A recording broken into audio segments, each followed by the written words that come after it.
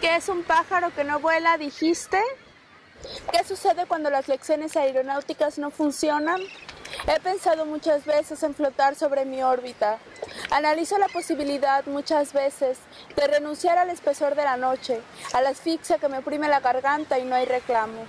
Otra vez quise saltar, pero tú viajaste por una sonda que te salía del cuello, águila que perforó el infinito, el sonido, el ritmo de las cosas que se suceden a sí mismas. No hay reclamo. Sigo con la terquedad de las plumas incautas. Me funciona el pecho lo suficiente para seguir al aire y morderlo.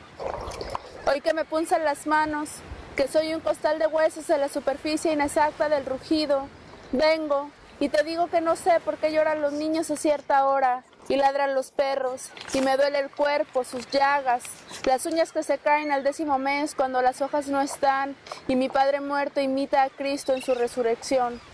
Desde aquí su nombre atorado en mi garganta, el olor de los otoños cuando nos sentábamos en el parque a ver llorar a otros niños y comer hasta reventarnos la barriga. Desde aquí el recuerdo de las aves. Vengo y te digo que una tragedia siempre es punto de conversación.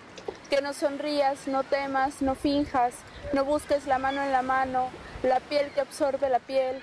No concentres el tiempo en un devenir de atentados. Aquí nadie es más culpable. Aquí, en este lugar donde tus plantas pisan, no habrá una respuesta.